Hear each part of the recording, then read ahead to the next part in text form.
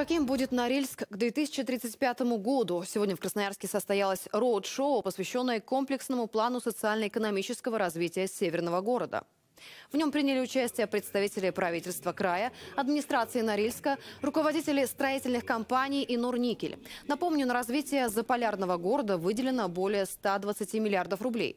24 из них из федерального бюджета, около 15 из краевого и больше 81 деньги Норникеля.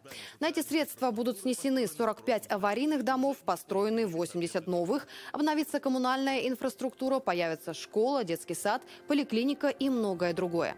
Напомним, работа по подготовке комплексного плана развития северной столицы началась еще в прошлом году по инициативе губернатора края Александра Уса. Вскоре планы начнут притворяться в жизнь.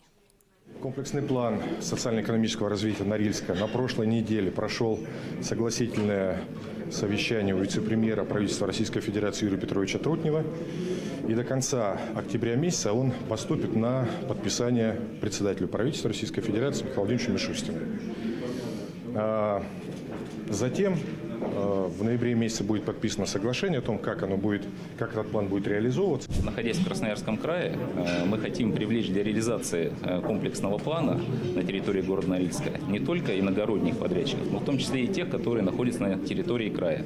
Те, которые имеют здесь мощности, те, которые имеют здесь трудовые ресурсы, механизмы, и тем, которым будет проще здесь реализовывать этот комплексный план вместе с городом Норильском.